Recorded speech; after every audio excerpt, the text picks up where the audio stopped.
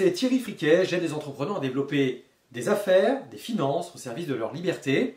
Je me propose de vous présenter l'interview que j'ai faite de André Dubois. Alors, je m'adresse particulièrement aux entrepreneurs du XXe siècle, ceux qui ont une entreprise plutôt classique, plutôt physique, euh, avec assez peu de digital finalement.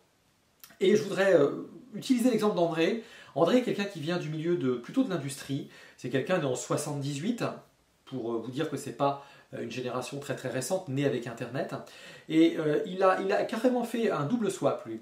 Non seulement il est passé de salarié à non salarié, donc entrepreneur, et en plus il est tout de suite passé sur un business en ligne donc vous en apprendrez un petit peu plus donc, dans cette vidéo sur les outils qu'il utilise, le temps qu'il passe à travailler. Euh, on y parlera d'un certain nombre d'autres web entrepreneurs. Ce, ce qui m'intéresse dans cette vidéo-là, c'est de vous montrer que dans votre business physique, vous pouvez utiliser des choses qui viennent du monde digital, sans basculer nécessairement forcément sur le digital, mais vous pouvez prendre le meilleur des deux mondes pour faire ce que j'appelle le digital. Voilà. Moi, je me tiens à votre disposition. Bien entendu, ce que je vous invite à faire tout de suite, c'est à vous abonner à mes emails privés pour avoir encore plus de contenu gratuit, des formations courtes, des conférences express et puis surtout des supports qui peuvent vous aider, vous aider dans votre vie d'entrepreneur et également que ce soit dans votre vie d'investisseur. Je vous dis à très bientôt et tout de suite l'interview d'André Dubois. Mais stop Avant d'aller plus loin, je te propose tout de suite de t'abonner, si ça n'est pas encore fait, à mes messages privés. Si tu es abonné, tu recevras bien plus que tous les autres. Tu auras des supports pour t'aider à avancer dans tes affaires, dans tes finances, dans ta carrière, bref, dans ton business. Mais tu auras aussi accès à toutes mes formations express en format offert. Bref, tu l'as bien compris, tu en as beaucoup plus. À toi de jouer. Bonjour André. Salut Thierry. Eh bien, écoute, enchanté de te voir euh, bah, en live pour le coup dans cet entretien privé. Euh, merci, de m'accueillir. Bah, merci, écoute, avec grand plaisir. Ça me fait plaisir d'avoir quelqu'un. Et euh, pour la petite histoire, j'ai suivi en fait tes conseils, hein, puisque dans une de tes euh, recommandations vidéo sur comment développer sa visibilité, tu disais justement, bah, lancer, aller contacter des gens qui ont déjà une forme de visibilité, qui sont dans des thématiques éventuellement parallèles. Et, à l'époque, j'avais déjà donc commencé quelques interviews de dirigeants d'entreprise, mais de ce que j'appelle de la vie réelle, de la vie plus classique, de la vie physique, des gens qui ne sont pas du tout sur le web. Et donc, ça m'intéresse puisque dans, ton parcours, moi, ce qui m'intéresse vraiment fort et qui va, que je vais pousser en avant par rapport à ma communauté, donc j'ai une communauté uniquement de, je dirais, de gens qui ne sont quasiment pas sur le web, hein, mais vraiment pas, ils l'utilisent comme ça de temps en temps, de gens qui n'ont pas nécessairement fait le switch entre un business physique hein, et un business, business qui est 100% en ligne, hein, d'ailleurs dans ton cas, où moi je me situe entre les deux, puisque ce que je veux, c'est amener à des gens qui sont sur un business physique euh, bah, des outils, des trucs, astuces, euh, sans les révolutionner et passer complètement sur du online, euh, mais qui peuvent vraiment les aider, bah, je, dirais à, je dirais appréhender leur, leur, business de façon différente et particulièrement dans la période, dans la période que l'on vit actuellement, puisque ceux qui reverront ce, cette interview dans quelques mois, peut-être dans quelques années, euh, comprendront peut-être plus autant le, je dirais le contexte. Mais là, aujourd'hui, au jour où on tourne cette, cette vidéo, cette interview, il faut savoir qu'on est euh, globalement bloqué euh, depuis deux mois. et des infos que j'ai, la reprise d'une activité qui correspondrait un peu plus à celle qu'on avait avant mars 2020 d'ailleurs, euh, et ben c'est pas franchement prévu avant, avant septembre. Hein. Moi, pour les, les, gens que je côtoie, euh, notamment dans tout ce qui est formation euh, et formation en présentiel, on parle quand même d'une reprise progressive et surtout à partir de, euh, septembre. Donc ton, parcours m'intéresse vraiment, vraiment, parce que toi, tu fais partie des gens, et d'ailleurs c'est intéressant, on va parler marque. Je t'ai mis des, des, différents items qu'on allait aborder, mais en plus, particulièrement pour ma communauté, on, on, parle marketing et toi, Traffic Mania, c'est vraiment du marketing.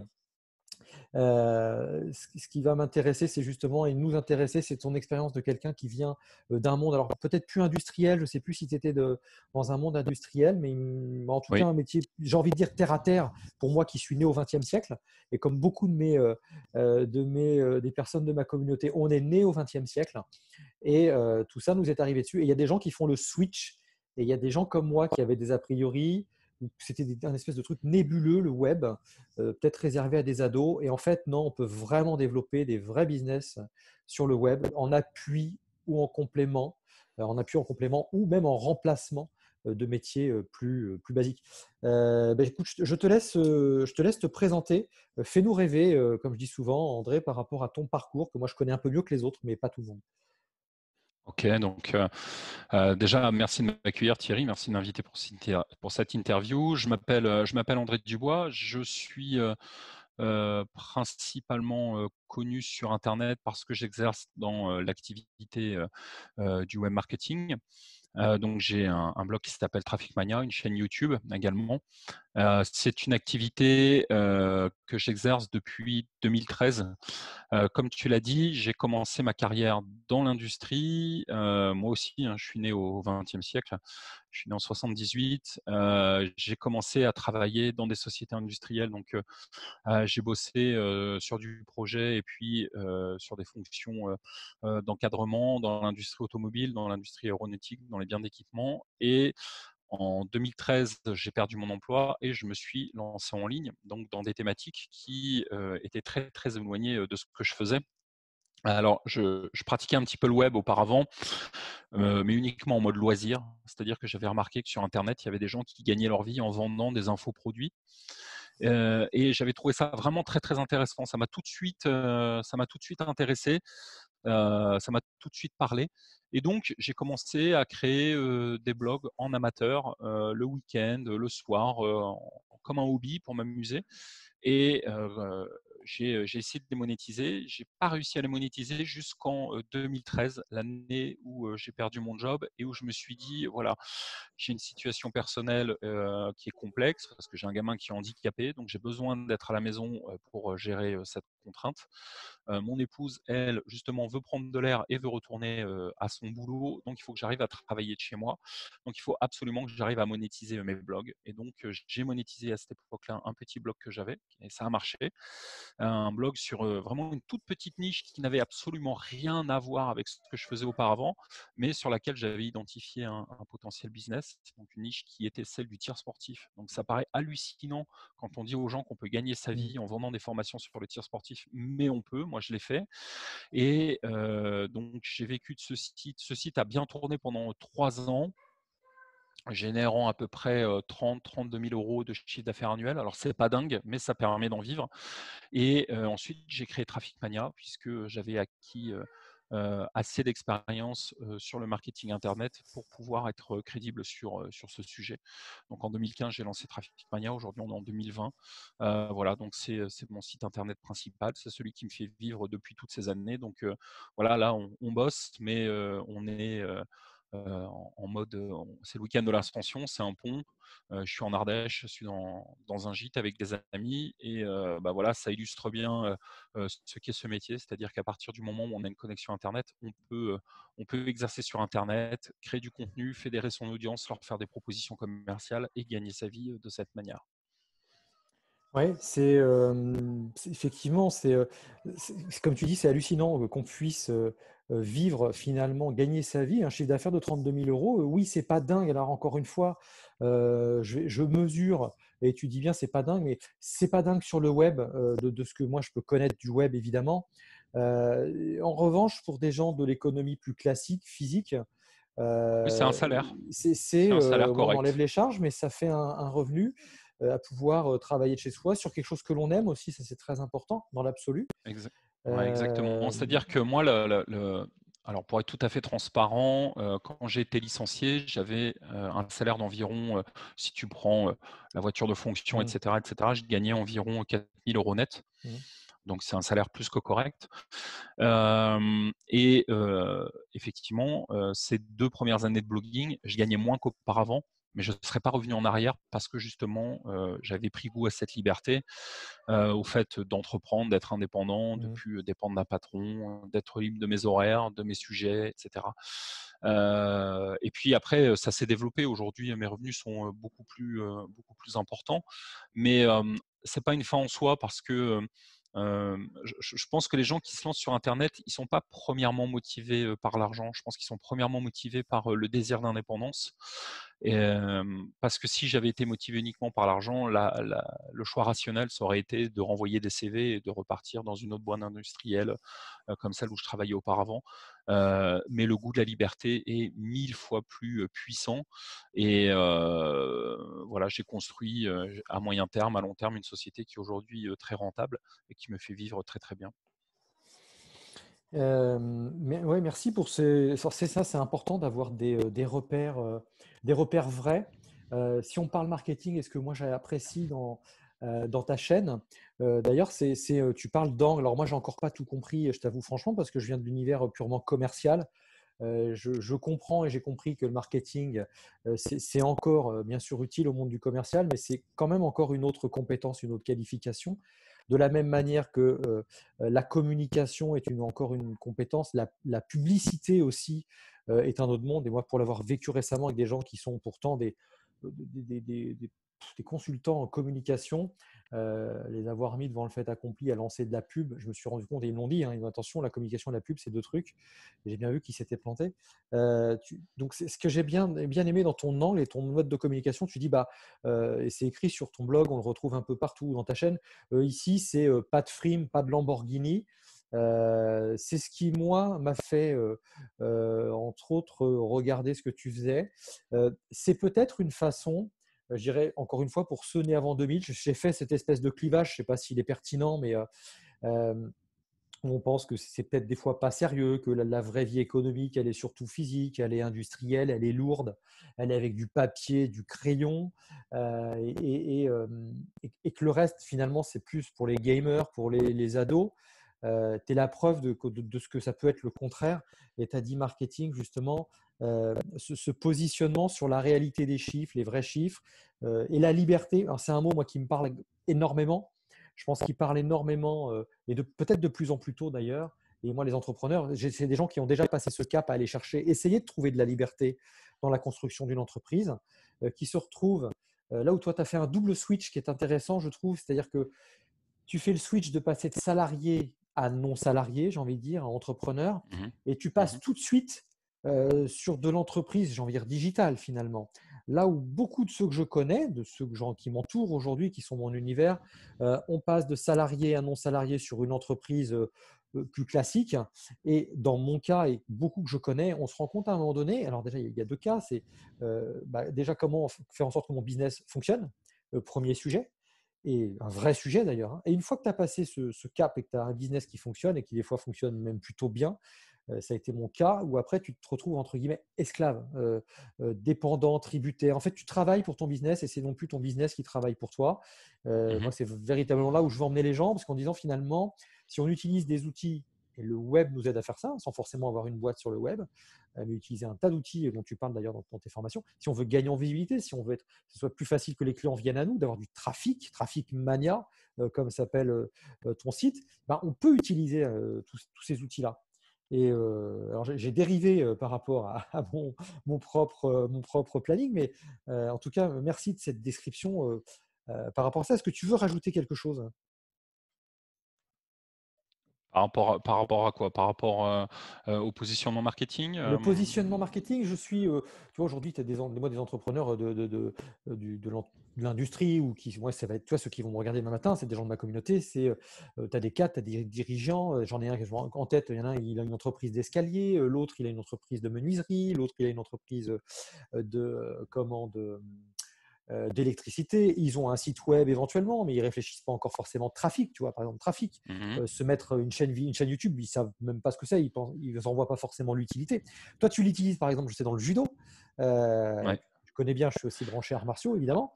voilà, qu'est-ce que tu pourrais dire à ces gens-là Dire les gars, vous avez Alors, c'est très très intéressant parce que justement, tu dis que dans tes clients, par exemple, tu as, des artisans Enfin, mmh. dans ta communauté, il y a des gens qui sont, qui sont artisans, etc. on se rend compte de la force et de la puissance du web.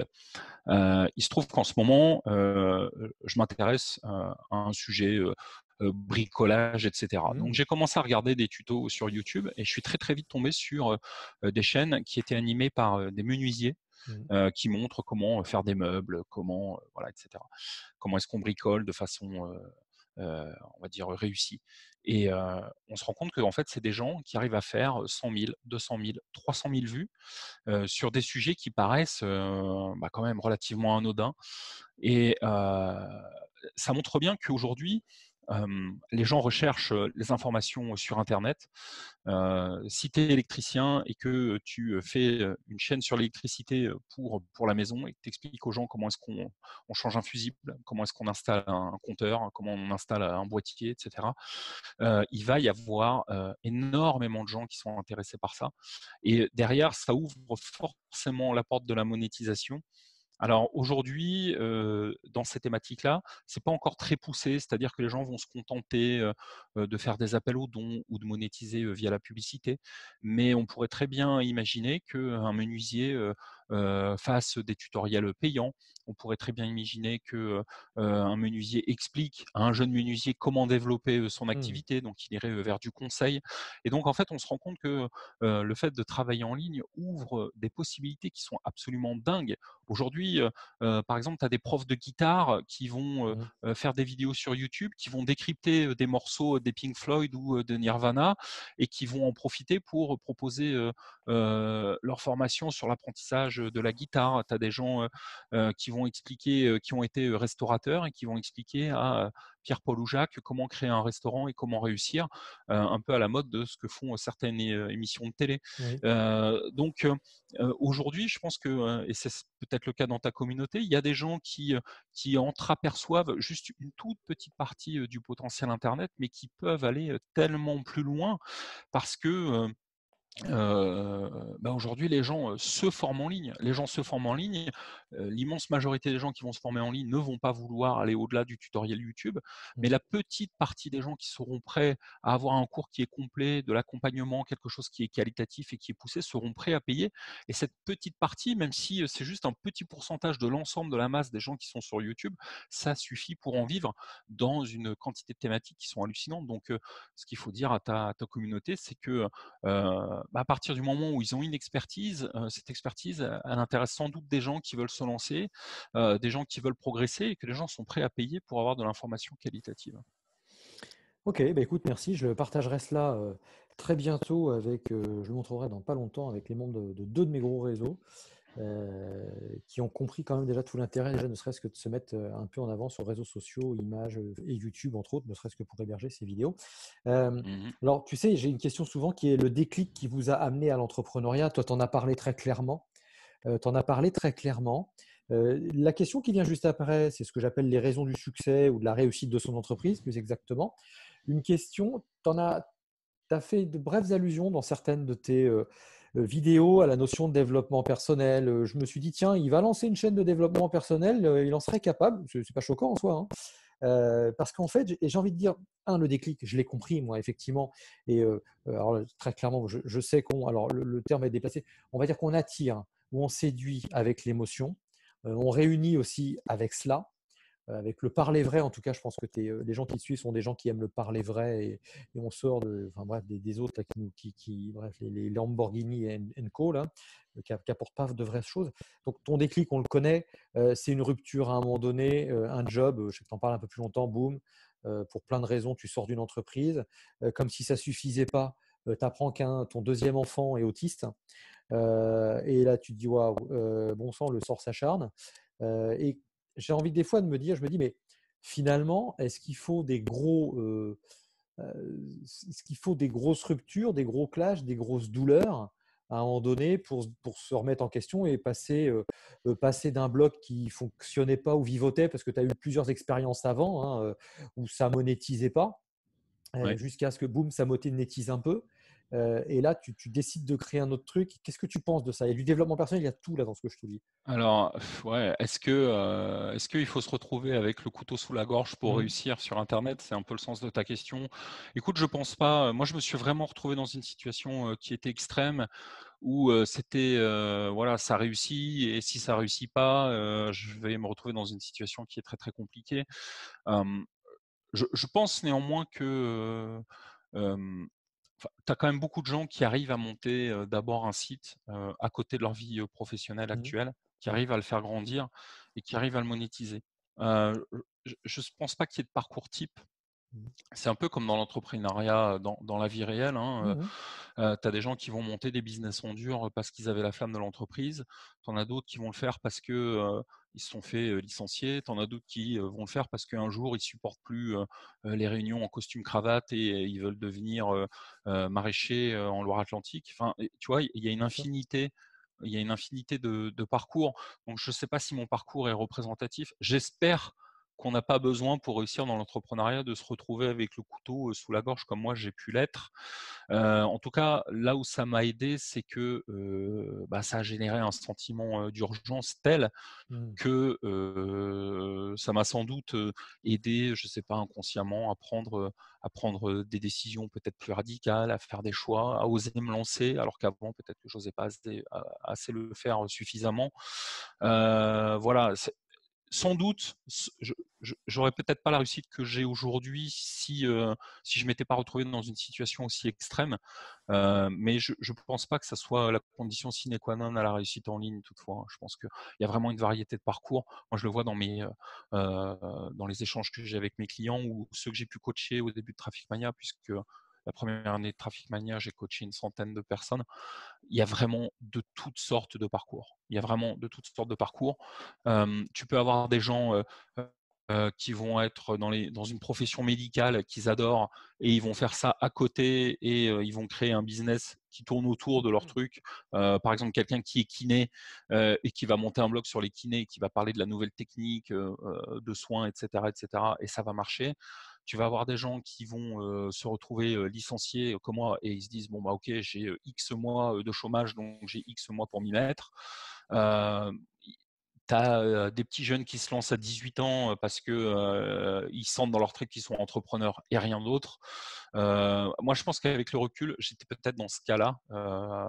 j'ai toujours, j'ai toujours eu l'envie d'entreprendre. Je l'ai sans doute pas fait assez tôt par manque de courage, tu sais. Hein, tu dis qu'il faut payer ton loyer, ton crédit et tes factures, et tu dis bon, bah, j'ai un bon job, j'ai une carrière devant moi, pourquoi je prendrais les risques? Mmh. Mais la réalité, c'est que si tu me donnais une machine à remonter le temps, je, ferais ça dès mes 18 ans. À 18 ans, a un jour, je commencerai à monétiser un blog si j'avais une machine à remonter dans le temps, c'est certain. Je ne sais pas si ça existait complètement bien à cette époque, si on avait les mêmes outils. oui, oui, enfin voilà, mais j'aurais sans doute, tu vois, enfin, tu, comprends l'image. Bien sûr, bien sûr.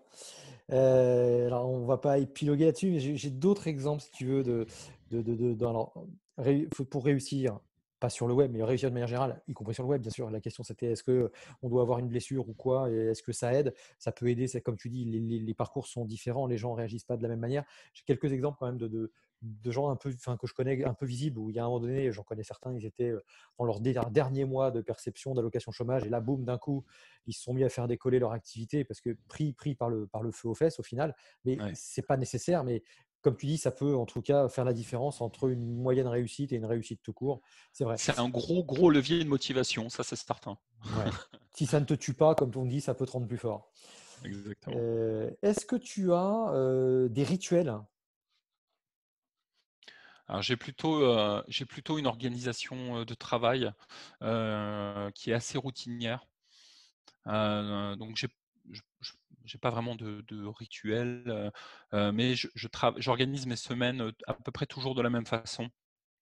En fait, c'est un moyen extrêmement puissant en fait d'avoir de, la régularité sans trop se poser de questions, c'est-à-dire que je sais ce que je dois faire le lundi, je sais ce que je dois faire le mardi, etc., etc., jusqu'à la fin de semaine, et je sais que en ayant fait mes tâches routinières, à chaque fin de semaine, le nécessaire aura été, aura été fait en termes de création de contenu, de support client, de promotion de contenu.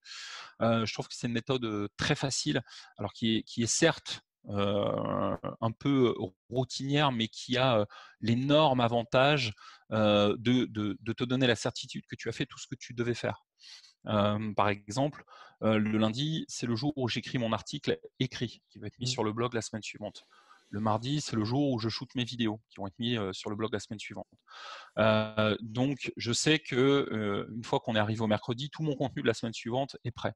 Donc après, il va me rester du temps pour travailler sur mes offres payantes, réfléchir à mon activité, développer un nouveau produit, écrire une page de vente, etc., etc. Et en travaillant de cette façon, voilà, je suis certain d'avoir fait ma création de contenu, je suis certain d'avoir une vision sur mes opérations commerciales. Et en fait, je pense que c'est intéressant de travailler de cette façon sur Internet parce que ben, le, trafic, ça s'entretient. Voilà, il faut publier régulièrement, il faut promouvoir avec intensité. Et si tu travailles toujours de la même manière, d'une façon qui est très très cadencée, tu sais que tu as fait le job. Un peu comme dans une usine, on sait que à 16 heures, il faut qu'on ait fabriqué 10 000 pièces pour être au vert par rapport aux objectifs de production. Voilà, c'est exactement la même chose en fait. Et à partir du moment où tu travailles comme ça, ça devient beaucoup beaucoup plus facile à faire. Alors effectivement, moi j'ai la chance que ce soit mon métier à 100%, donc toute mon activité professionnelle tourne autour de ça. C'est beaucoup plus compliqué, j'en conviens, lorsqu'on est salarié et qu'on rentre chez soi à 19h et qu'on est fatigué et qu'il faut attaquer la deuxième journée de travail sur Internet, ça c'est sûr. Mmh D'accord. Finalement, quand je reprends ton planning, j'ai l'impression qu'il y a euh, bah, lundi, mardi, article shooting, etc. J'ai envie de dire, c'est un peu la promotion, c'est le contenu. Et mardi, mercredi, jeudi, on est en production, vente, euh, commerciale, quelque part. C'est un peu ça, oui. En fait, je, je vais garder l'administratif pour le vendredi, c'est-à-dire les questions comptables, les différents courriers que je peux recevoir des administrations, parce qu'on est quand même en France. donc on en reçoit, c'est pas toujours simple. Et euh, voilà, donc je commence ma semaine par ce qui est critique pour moi, pour mon activité, la création de contenu. Euh, j'ai la chance d'avoir une grosse liste euh, d'inscrits, donc en termes de promotion, bah, moi mon seule activité de promotion c'est envoyer un email. effectivement, quand tu démarres et que tu n'as pas une grosse liste d'inscrits, l'activité de promotion elle prend beaucoup beaucoup plus de temps, mais c'est des choses qui se rééquilibrent au fur et à mesure, ça. D'accord. D'accord, d'accord. Bon, notre communauté, on va pas là, déjà pour eux. Alors la notion de mailing list, euh, ils ont bien des clients, ils ont éventuellement et pas forcément toujours récupéré leur mail. Tu vois, c'est là où on peut faire le lien entre euh, euh, sur le net, bah, c'est vital quoi. T'as pas de mailing list, c'est t'es out. Dans la vie réelle, encore aujourd'hui, tu as plein de gens, on parlait des artisans, menuisiers ou autres, qui, ont un fichier client, hein, ce n'est pas le sujet évidemment, mais, mais, de là, l'exploiter avec de l'apport d'informations régulières, de contenu régulier, pertinent, pas invasif, euh, bienveillant, euh, je dirais en, faisant un mix sur les canaux entre tout ce qu'on peut utiliser, le mail, le SMS, le, les messageries des réseaux sociaux et autres. là, c'est déjà un autre monde et c'est vrai que ton entretien et cet entretien aujourd'hui avec toi va peut-être leur donner plus de, plus, plus de, euh, de compréhension. On pourrait imaginer plein de choses. Il y a des choses qui paraissent évidentes. Par exemple, si tu es euh, restaurateur et que tu as un fichier mmh. client, euh, pourquoi ne pas envoyer un email Parce que tu renouvelles ta carte? Parce que tu fais une opération spéciale ce week-end. Si vous venez à 4, je ne sais pas, trois repas offerts, un repas, enfin trois repas payés, un repas offert. Enfin, tu vois, ce genre de choses. mais quelqu'un qui est artisan, euh, qui fait des salles de bain, pourquoi ne pas publier sa dernière réalisation et l'envoyer à son fichier client? Parce que ça pourra rappeler aux gens qu'il est là, donner envie à des gens d'accélérer leurs travaux, de passer un petit coup de fil. c'est vraiment un levier qui peut être exploité dans un nombre de professions qui est hallucinant et c'est encore largement sous-exploité au niveau des TPE, ça c'est certain. Ouais. mais là, tu dis, moi, tu, tu prêches un convaincu. Euh, ben, merci pour cet apport. Les rituels, tu m'en as parlé. Il euh, faut avoir été dans l'industrie. Effectivement, tu as eu cette habitude, toi, d'avoir des process, des calendriers, euh, des rétro-planning à tenir. si j'étais un peu piquant, je dirais, mais en fait, la liberté, elle est où quelque part? Parce qu'on se réinflige, on se réinflige un rythme qui est finalement. alors, c'est toi qui le décides, ça, c'est peut-être ça la vraie liberté. Qu'est-ce que tu pourrais ajouter là-dessus? Ouais, c'est moi qui le décide. Alors, euh, on va, on va tomber dans des débats philosophiques profonds, mais moi aujourd'hui, je, m'estime comptable, responsable vis-à-vis de mes clients. Donc mmh. voilà, quand des gens me posent des questions, c'est mon devoir d'y répondre. donc de ce point de vue-là, bah, c'est moins de liberté puisque je, dois, je me dois d'amener du support, je me dois d'être disponible, je me dois de les renseigner, ça c'est une première chose. Ensuite, je, pense que travailler de cette façon, au contraire, me donne une liberté qui est énorme parce que mon calendrier horaire est quand même nettement moins chargé que celui d'un salarié. je, peux quand tu es salarié et que le siège social te dit faites-moi tel reporting qui va te prendre 4 heures où tu vas remplir des, fichiers et envoyer des graphiques à non plus finir, et tu sais très bien que ça ne sert à rien, mmh. tu n'as pas le choix, il faut que tu les fasses. moi, en étant mon propre patron, je me focalise sur quelques indicateurs qui me semblent clés et je ne suis pas soumis, en tout cas, à ce genre de contraintes. donc, liberté absolue, certainement pas, mais comparons mon niveau de liberté par rapport à celui d'un salarié, je pense qu'il n'y a absolument pas photo toutefois. D'accord. Tu, tu penses aujourd'hui que donc tu aurais continué ta carrière d'encadrant de, de, cadre dans l'industrie avec des horaires qu'on mmh. connaît, des horaires d'ailleurs que l'on s'impose ou que euh, le, la culture s'impose, hein, pour avoir été également dans cette, dans cette situation-là. Je veux dire, euh, consciemment ou inconsciemment, je veux dire, on sait en France, contrairement à d'autres pays comme l'Allemagne, où euh, il faut se montrer à 8 heures, il faut encore se montrer à 20 heures. J'exagère, mais pas loin, pas loin, pas loin. Non, c'est ça, ça existe.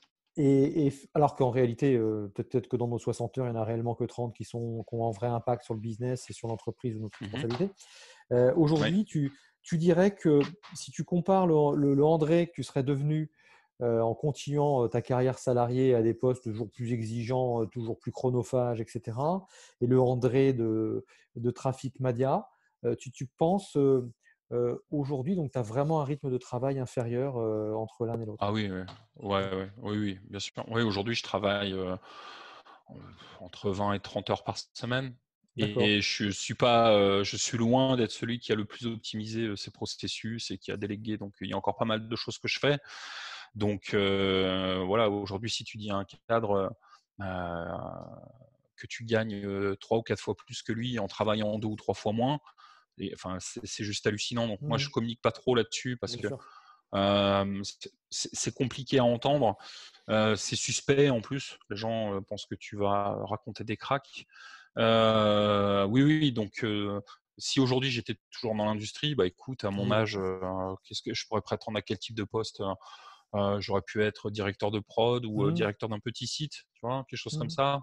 si on regarde un peu, quand je regarde un peu mes copains de promo où ils en sont, on va dire que les plus brillants, ils sont, ils sont, ils sont, ils sont en train de devenir directeurs d'usine. ils travaillent comme des dingues. Alors, ils gagnent bien leur vie, c'est sûr. Il y en a qui aiment leur métier. Moi, je veux pas. Je suis mmh pas. Tu sais, sur Internet, tu as beaucoup de gens qui vont critiquer le salariat parce qu'ils vont dire que on est limite dans les champs de coton. quoi. Mmh. c'est pas ça non plus. Il faut pas exagérer. même s'il y a de la pression, même si c'est pas toujours facile. Moi, dans ma vie de salarié, il y a des projets qui m'ont plu. J'ai rencontré des gens très intéressants. Dans l'industrie, tu rencontres des gens qui sont parfois brillantissimes des gens vraiment de très haut niveau qui sont passionnants. donc, je sais plus, j'ai perdu le fil, mais. On parlait de temps de travail et le André d'avant, le André d'aujourd'hui. oui, oui, oui, c'est certain. À 70 ouais, voilà, enfin, c'est ça. Je, je, travaillerai entre 50 et 60 heures par semaine. J'aurai mmh. des responsabilités écrasantes. Euh, la peur toujours que quelqu'un ait un accident et que ce soit ma responsabilité qui soit engagée euh, malgré euh, tous les efforts que je puisse faire. J'aurai un siège qui exigerait des résultats et des salariés en face de moi qui n'auraient pas forcément les mêmes points de vue. Donc ça, voilà, on sait tout ce que c'est. Hein. Mmh tu as toujours l'impression d'être entre le marteau et l'enclume. D'ailleurs, il y, a un vrai désamour du management hein, quand tu le vois. les gens qui sont dans l'encadrement opérationnel, qui doivent vraiment encadrer les gens qui font le boulot, ils se retrouvent dans des situations qui sont impossibles entre des sièges qui leur disent il faut que ça tourne, débrouillez-vous, mmh. et des gens qui leur disent mais attendez, donnez-moi les moyens pour travailler. Donc c'est, enfin, c'est des situations que tout le monde connaît dans l'industrie qui sont très difficiles. donc aujourd'hui, si, la question de fond c'est est-ce que, est-ce que j'ai envie de retourner dans le salariat? Absolument pas. Est-ce mmh. que j'ai envie de retourner dans l'industrie? Absolument pas. Moi, ce que j'ai envie de faire, c'est de continuer à développer mon entreprise. Aujourd'hui, j'ai une salariée, j'ai des niveaux de marge qui sont absolument excellents, donc qui me permettent de très très bien gagner ma vie. voilà, aujourd'hui on bosse, je suis en Ardèche. une fois qu'on a fini l'interview, je mets mon short et je vais, je vais me baigner. Quoi. Il y a les enfants qui m'attendent, tu vois. Donc, voilà. on, et, va, on, va te libérer, mais bon. tu vois, il y, a un sujet que je trouve intéressant, c'est le temps de travail, c'est une chose, officielle Mmh. ou pas, plus ou moins mesurable. Tu parlais tout à l'heure de ce directeur dans, dans l'industrie, 60 heures par semaine minimum, je pense, mais tu sais, il y a aussi ce temps, et pour ça, je voudrais que tu, tu nous fasses des précisions là-dessus, 20-30 heures par semaine sur ton job, mais est-ce que réellement tu t'es déconnecté une fois que tu sors de ça? C'est-à-dire que moi, je ne sais pas faire. Ah, Alors ça, c'est le, le côté... Non, c'est le faire. côté... Euh, le- ton directeur en question, pardon, et je te laisse tranquille après, mais ton directeur de site, même quand il bosse ses 60 heures, comme tu dis, il pense toujours que euh, est-ce qu'il il y en a pas un qui est en train de se blesser Euh, Il check Ouais. ses mails et ses téléphones réguliers. ouais. Euh, Ah ben oui, quand tu es dans, dans une, quand t'as un poste à responsabilité dans une entreprise, euh, euh, tu sais comment ça se passe. Hein. C'est dimanche, euh, bah, tu vas quand même regarder tes emails, euh, tu vas, euh, voilà, tu, tu vas passer un petit coup de fil pour savoir si tout se passe bien, etc. C'est, tu coupes jamais vraiment.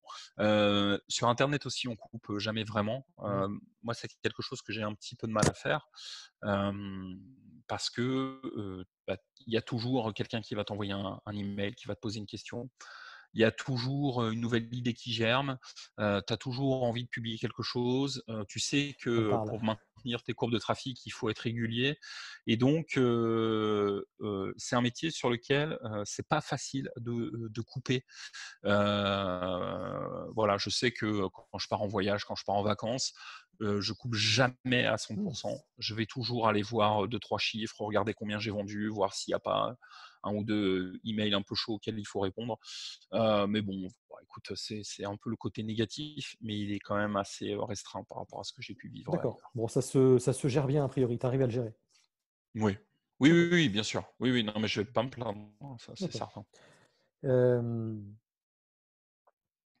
tu as une énergie, tu cultives ton énergie d'une façon particulière ou, ou pas? Tu dis je vais aller dans la piscine, mais tu as d'autres choses qui te permettent de, de, de- de rester, puisqu'on est tout le temps branché au finalement, c'est ce un peu ce que tu es en train de me dire, même si Ouais. c'est juste d'aller checker euh, des analytics ou ce genre de choses. euh, Mhm. Est-ce qu'il y a, euh, bon, malgré tout, est-ce qu'il y a quelque chose pour cultiver l'énergie ou la flamme? C'est-à-dire qu'on a toujours une idée, un truc qui germe. Moi, depuis euh, que j'essaie de faire du contenu aussi, c'est vrai que boum, d'un coup, ça sort et il faut aller noter ça. Je l'enregistre euh, à la voix, à l'écrit, euh, et puis j'essaie de passer à autre chose et de revenir à, à ma famille. Mais euh, Alors, le, le- le- par rapport à cette idée de, de création de contenu, je trouve que, en, en tout cas pour moi, ce qui m'aide réellement à trouver des idées, c'est mes lectures. Donc, euh, euh, elles peuvent être de tout type. hein. Je peux lire des bouquins de marketing, mais je peux lire aussi un roman, un magazine d'actualité, un journal, etc.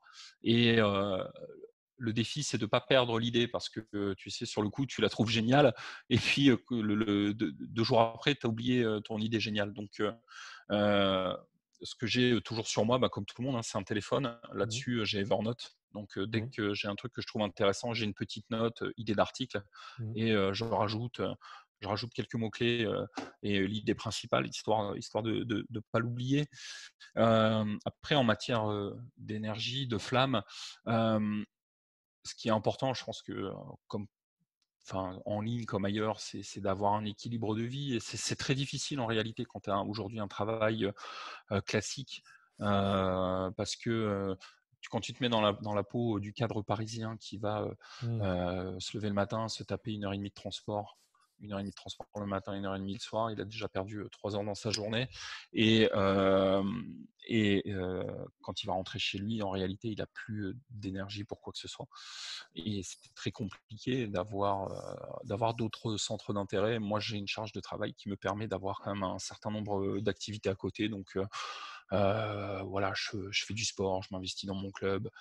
C'est aussi des soupapes. Voilà, c'est comme ça que ça fonctionne. D'accord, donc le sport. Tu as dit Ouais. sport, c'est ça. hein. Moi, dis c'est sport, Mhm. alimentation, sommeil. hein. Moi, c'est mon gros. euh, voilà, c'est des choses sur lesquelles j'essaie d'être- euh, le plus équilibré possible. Et, euh, effectivement, oui, le sport est une des sources. Une des sources ouais. C'est déjà 40 minutes, mon cher ami.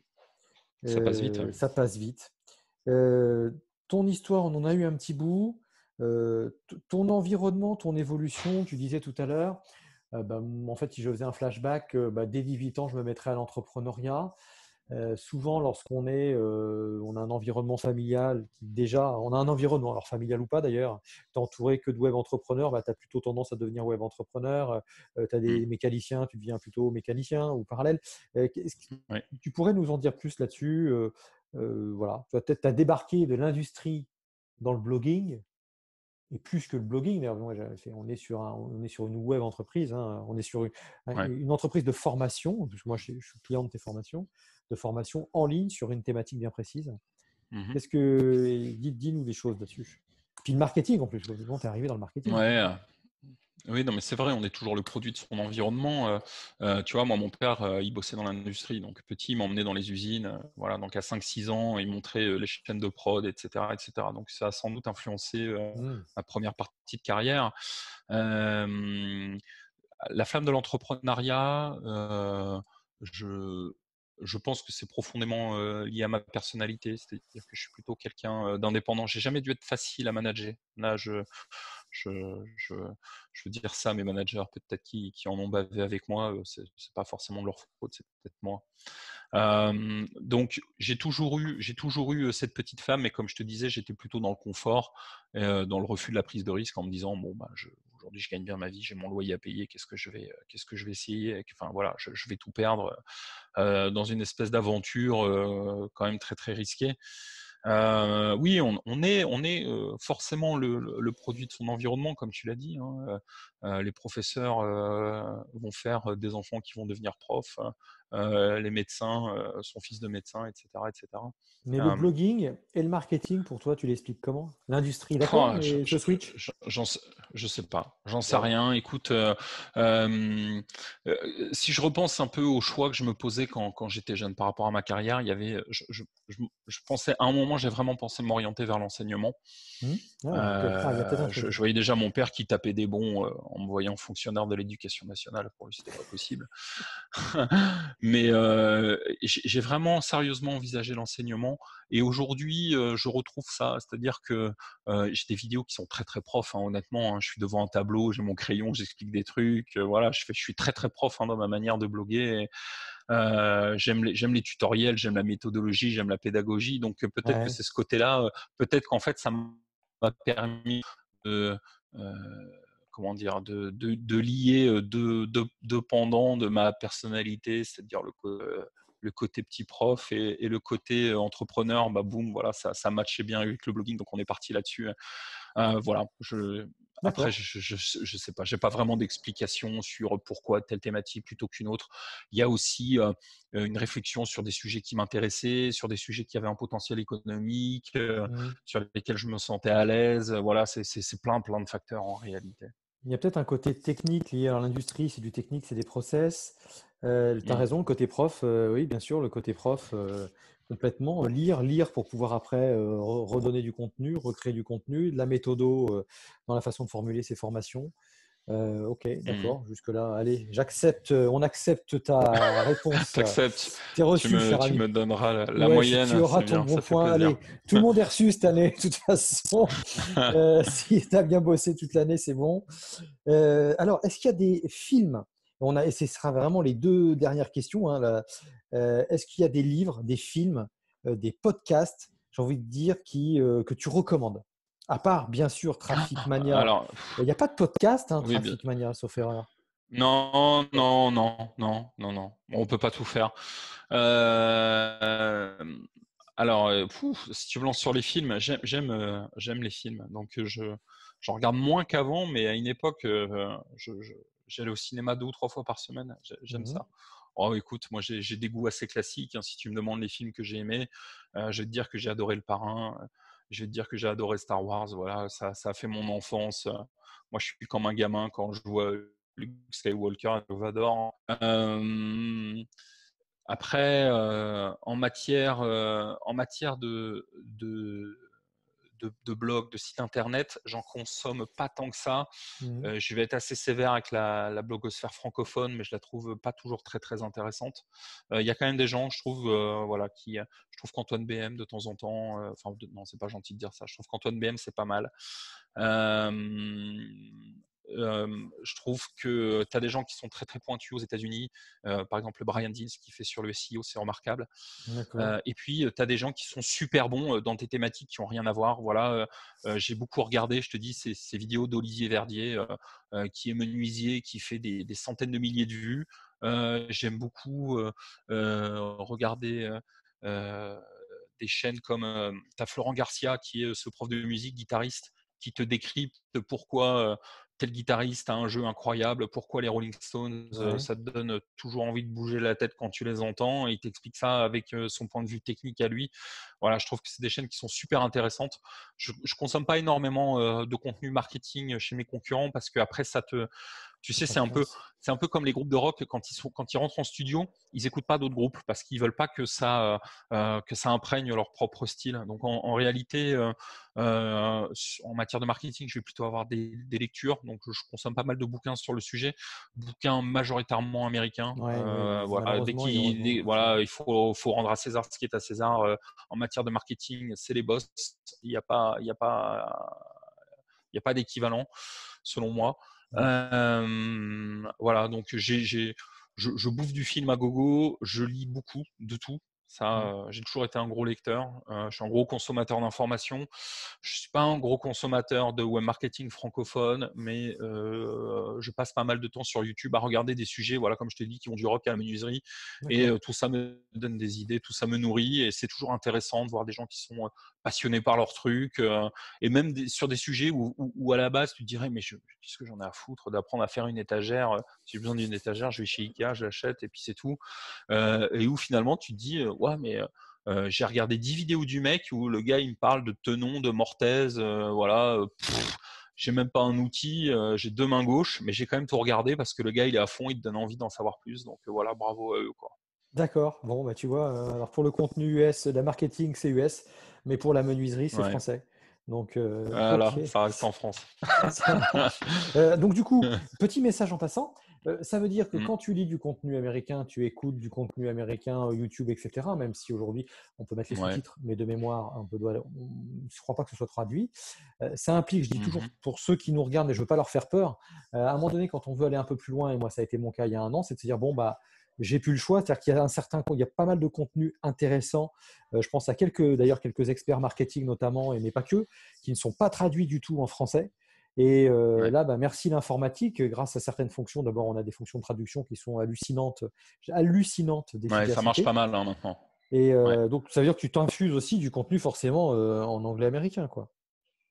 Ah oui, oui, oh, j'en consomme, principalement dans mes lectures. Mais alors moi, j'ai beaucoup de chance, c'est que j'ai toujours été à l'aise avec l'anglais, donc je peux, je peux attaquer un bouquin en anglais sans, sans souci. Une dernière chose, est-ce que tu as des. Alors, hormis euh, le gars qui fait des étagères, est-ce que tu as des mentors, des sources d'inspiration?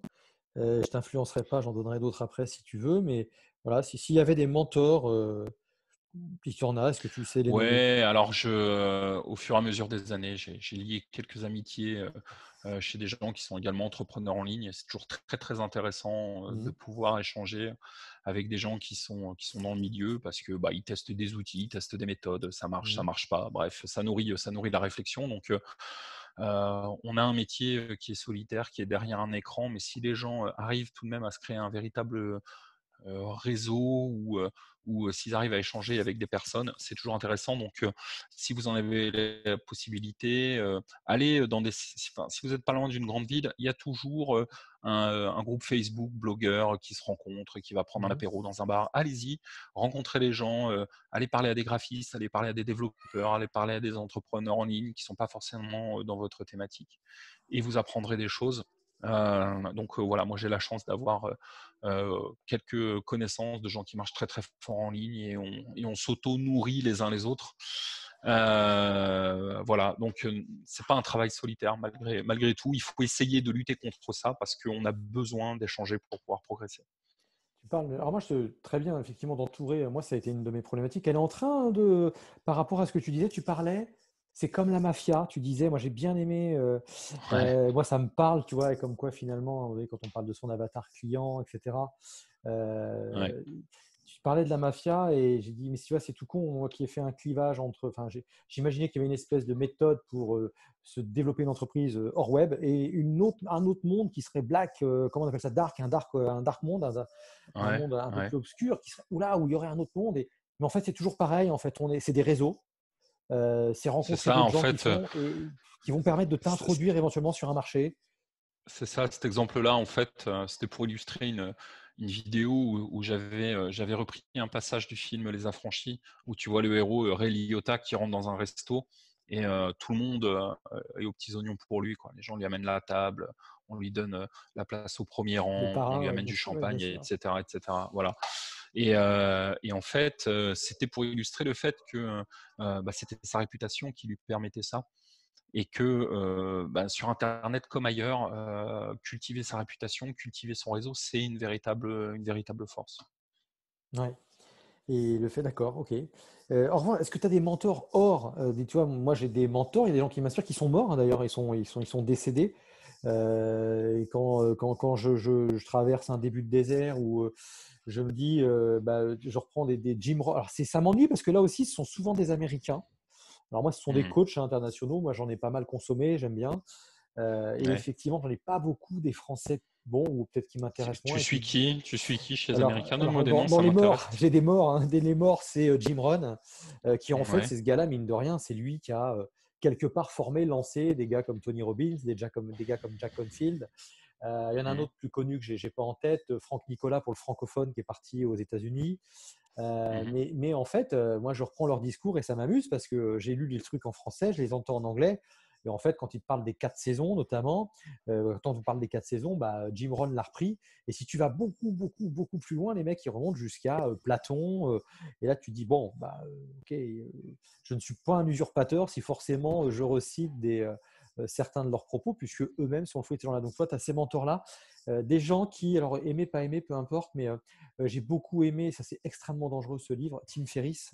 Tim Ferriss, la fameuse semaine de 4 heures et tout ce qui va suivre derrière. Mmh. Mais quelque part, il, a, déclenché beaucoup de vocations, ce bouquin. Oui, bah, on ne va pas en parler un qui fait du blogging aussi, hein, même dans les premiers français. ouais, il est dangereux ce, bouquin, mais en même temps, je trouve assez révélateur. Voilà. Tu, tu, me parles de mentor, il y a ça, il y a des gens comme Andrew Carnegie aussi. Euh, mmh. C'est l'acier. Hein. L'acier, ça remonte au XXe siècle de mémoire début. C'est pas neuf, tu vois. Donc, voilà. Mais est-ce que tu as des, images un peu comme ça? Eiffel, pour moi, Eiffel, Eiffel, est un mentor. Là, on va tiens un français. Gustave Eiffel, pour moi, c'est un peu quelqu'un d'assez intéressant, emblématique. Euh, j'ai pas creusé, mais des gars comme Besson, toi qui aimes le cinéma. Alors on l'aime, on l'aime pas, il est mmh. assez critiqué paraît-il, mais euh, ouais, quand même quoi. C'est le petit français qui finalement aujourd'hui, ben, il, il n'a rien envoyé à pas mal, pas mal d'Américains, des producteurs américains. Mmh, mmh, mmh. Bon, voilà des gens que je trouve assez inspirants. Ouais. Il y a plein de parcours comme ça, c'est vrai. Effectivement, on est entouré de gens qui ont des parcours qui sont, qui sont remarquables. Euh, je sais pas, peut-être que je devrais plus regarder ça. En réalité, en réalité, je, enfin, j'en connais. Hein, tu me parles de Besson, etc. Ça me parle, mais je m'y réfère pas énormément. Donc euh, je devrais peut-être plus, effectivement. Il n'y a, pas de, de, suggestion, mais comme tu parlais aussi développement personnel, etc., je me dis, ah, euh, il y a peut-être une notion de mentor, etc. C'est des fois quand on est hmm. seul dans le blogging ou euh, par rapport non, mais c'est important, c'est important effectivement, effectivement d'échanger mais si tu lis le bouquin Carnegie sur se faire des amis et influencer les autres, ça ne va pas t'apprendre le blogging, mais ça va te donner. Non, non, non. Alors il y a Dale Carnegie, Et, Andrew, et Andrew Carnegie. Ah, je Andrew, Andrew c'est le. Non, mais pas, pas de souci. Hein, Andrew Carnegie, c'est ça a été l'homme le plus riche du monde, paraît-il, à une époque. Mmh. c'est cette, c'est cet Écossais plutôt pauvre qui a immigré aux États-Unis, qui a été ouvrier. Et très tôt, en fait, il s'est mis à lire des bouquins, lire des bouquins, lire des bouquins, lire des bouquins jusqu'à fonder une aciérie, jusqu'à euh, euh, et puis c'est lui en gros qui a fait le qui a financé le rail américain, etc. Le pont de Brooklyn, si je dis pas de bêtises, il est mmh. dans le coup. Euh, et il était pote avec le gratte-ciel, la Rockefeller et ce genre de choses, tu vois, pour l'époque. Mmh. et en, mmh. en, en, mourant, il a légué une grosse partie de sa fortune ben, à des villes pour qu'elles construisent des bibliothèques, et notamment Reims. Si je dis pas de bêtises, il me semble que la bibliothèque de Reims a été financé par la fondation Carnegie parce qu'il disait en fait je dois tout, euh, je dois tout à, l'enseignement, tu vois. je dois tout à ça. Et, voilà, donc là, lui, c'était Andrew Carnegie. Et dans Dale Carnegie, bien sûr, c'est aussi connu. on commence à faire des amis, bien sûr. Ouais, c'est des beaux exemples.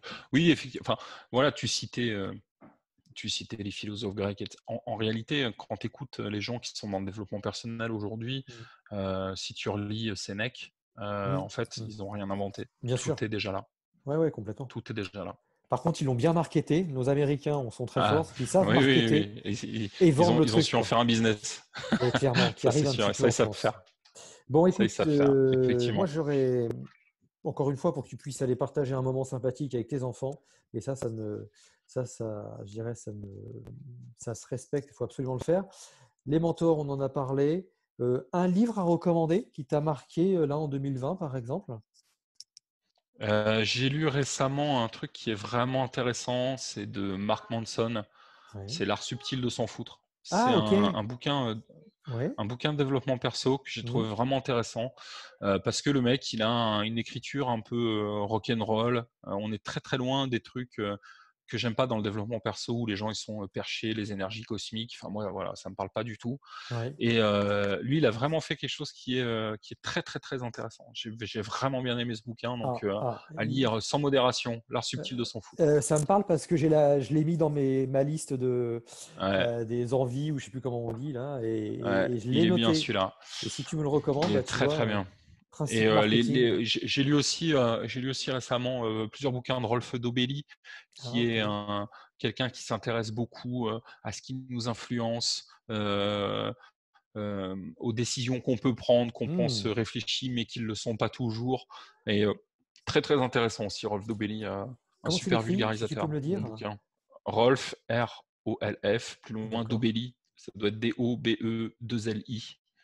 D'accord. C'est vraiment pas mal. c'est vraiment pas mal. C'est pareil, c'est un mec qui, enfin voilà, il, doit vendre des, il en vend beaucoup, beaucoup euh, des, livres et c'est mérité parce que c'est vraiment intéressant.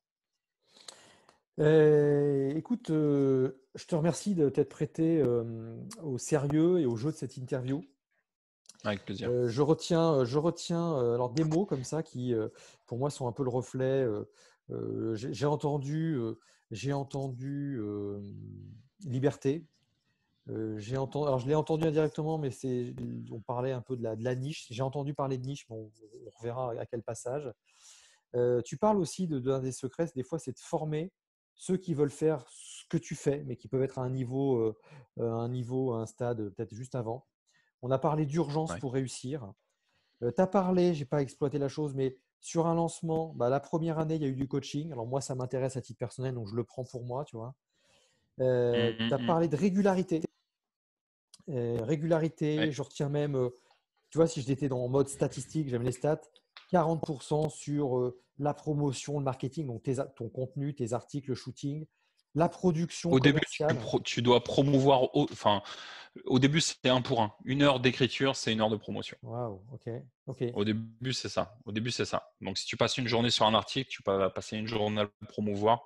Ça, ça va te ramener du trafic. Tu auras fait un bon article, tu vas ramener du monde dessus, tu vas faire ta place.